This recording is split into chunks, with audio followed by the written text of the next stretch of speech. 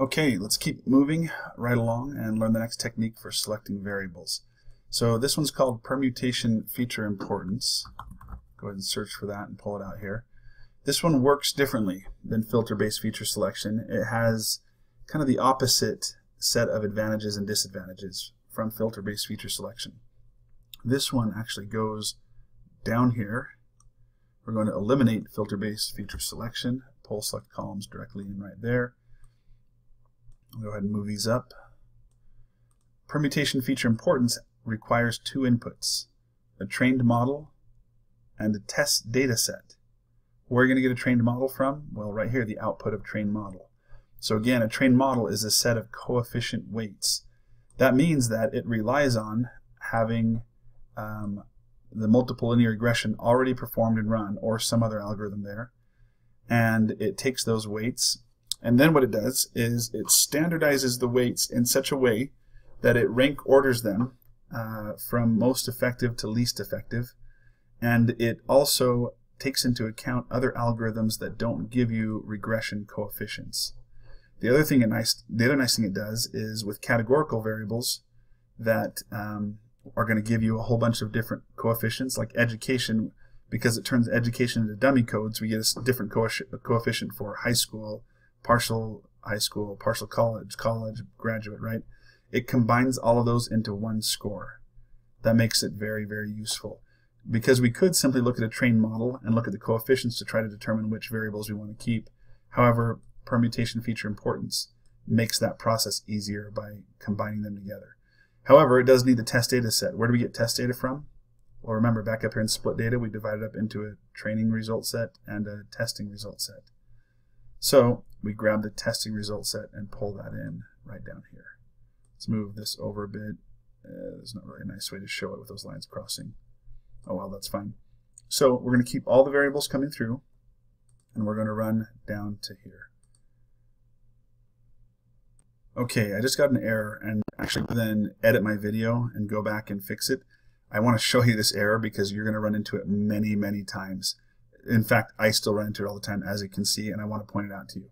So it says here, uh, unsupported parameter type metric for measuring performance. That's because I didn't edit some things. First of all, let's go over to our, here to our properties and add a random seed. Just one, two, three, four, five, so your results will compare to mine. Because it's going to grab random samples of that test data to come up with these importance scores for each variable. However, it also says here that it wants us to determine what's the metric that you're going to use to evaluate your model. How do you determine how good your model is? Well, it tells you right here a variety of, of metrics. You recognize this one, coefficient of determinations are r squared and root mean squared error. You haven't learned classification yet because we haven't done algorithm testing yet. Or maybe you have, maybe you've done them out of order and you know what these are. Either way, what this means is uh, classification, it's a metric we use when the dependent variable is text or categorical. Uh, regression is a model where the dependent variable is numeric. So by default, it was set to the first one on the list, classification accuracy. But our dependent variable purchased bike numeric is numeric. So uh, this isn't going to work. We need to give it a metric that it can use for a numeric dependent variable, which is any one of these regression items. So let's use coefficient of determination r squared, and let's run all this one more time. All right, so let's take a look at what we've got here.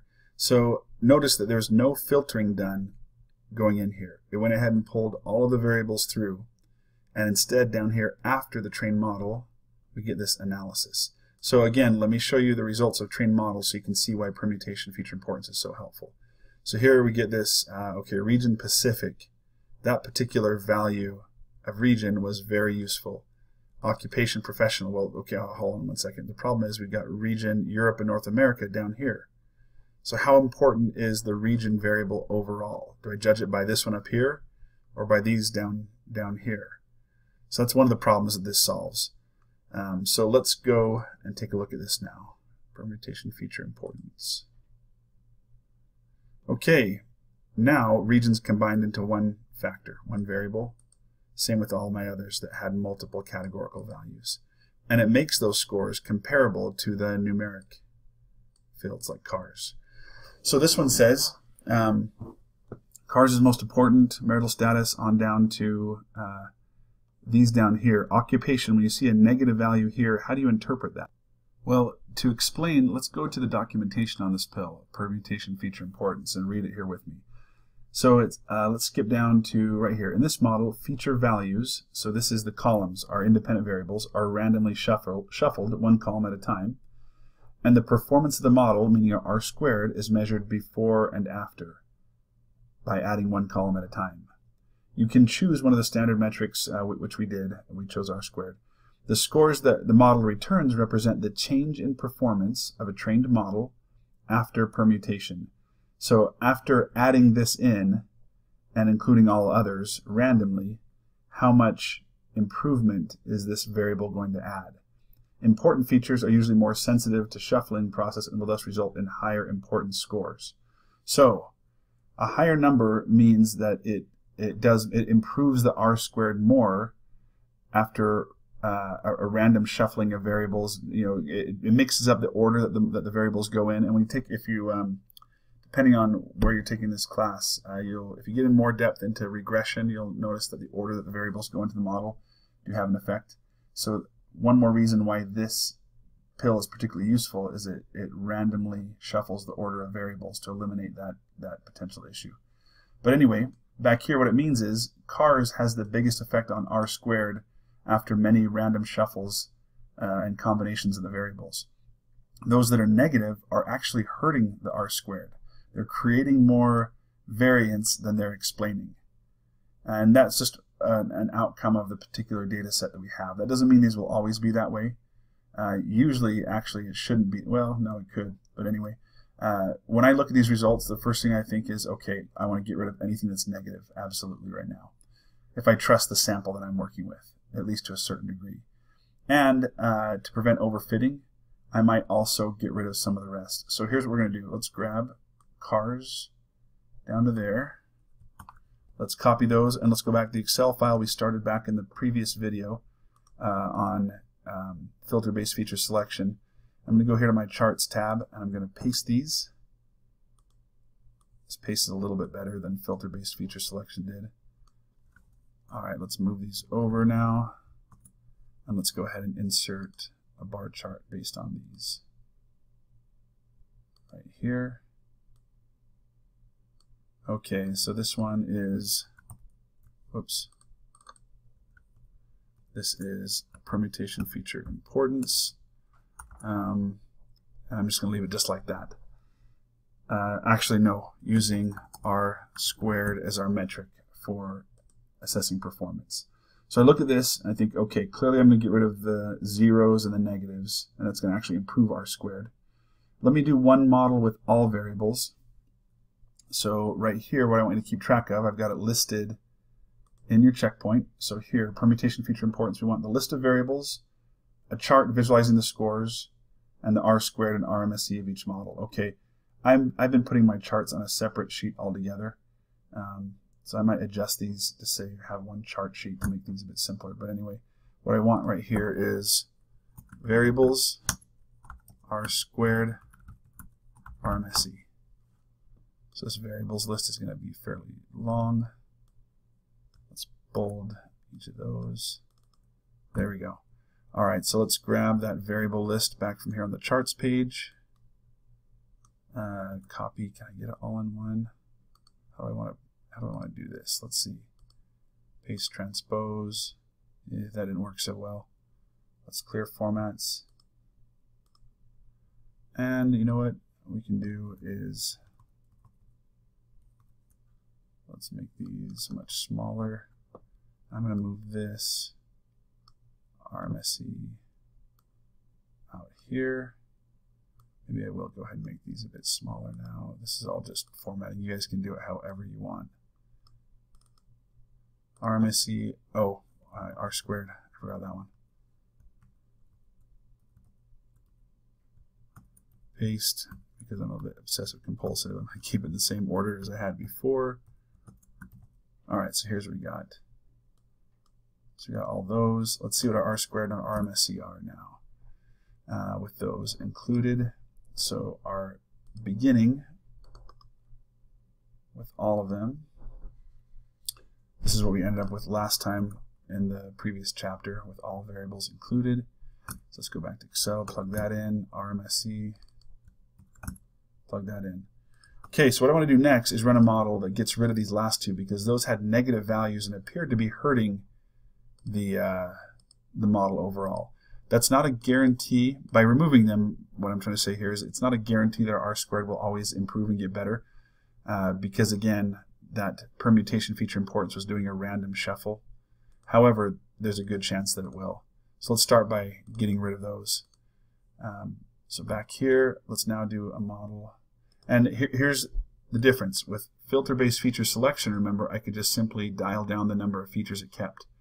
With permutation feature importance, the difference is I have to come back here and actually take those out of the select columns list. So keep that in mind when you're trying to assess the advantages and disadvantages of each. So I need to get rid of gender numeric and occupation right here.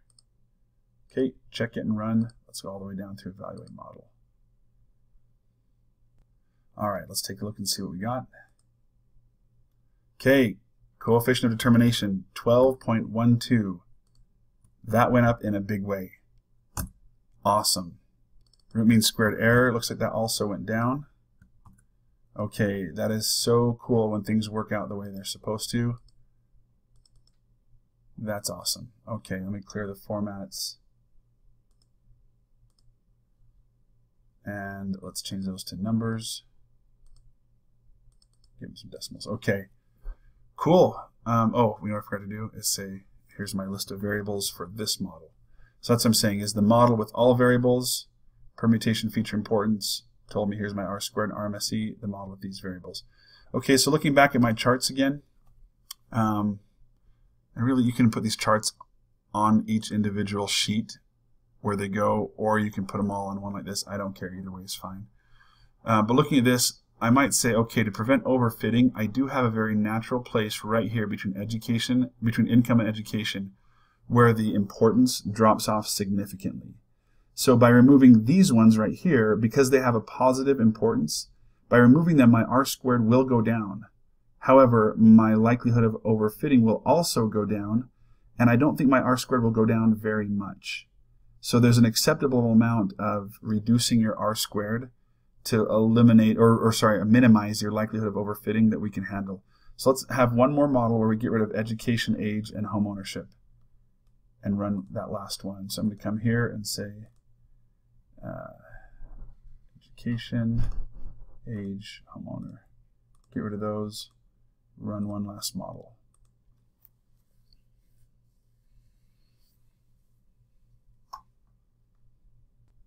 Okay, let's take a look. Okay, so like I thought, this did go down. Let's put it here on this one. Um, oh, let's copy down the variables. I got rid of those three and I kept these first six. And then let's grab RMSE, paste it there, copy formats to those cells.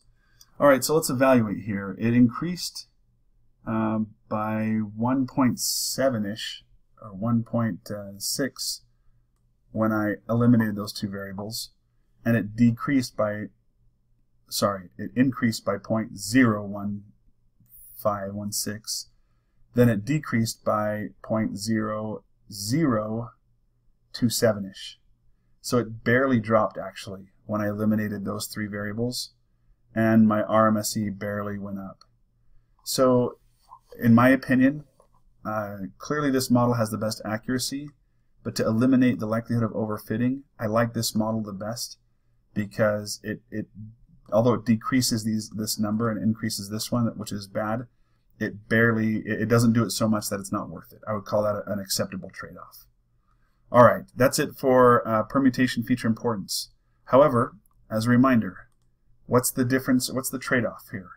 So the advantage is this is more accurate for determining which variables are best because by, by making my analysis based off a trained model, I'm getting coefficients that are already taking into account the intercorrelations among all variables. It's not just a bivariate relationship like we got from filter-based feature selection.